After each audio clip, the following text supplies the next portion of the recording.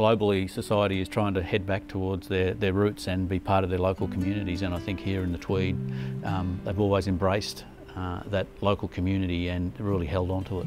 For the last probably seven years we've been working towards a, a real strong purpose in the business. It's about establishing a sustainable brewing business that sort of actively develops, embraces and adds value to our local communities. Um, the backdrop here with the rainforest and the, and the scenic rim uh, around the volcano certainly um, contribute to great local quality water. You've got the support of the local council, um, you've got a burgeoning population, um, you're well located, you've got three and a half million people within three hours north of here. It's just a great part of the country to do business in.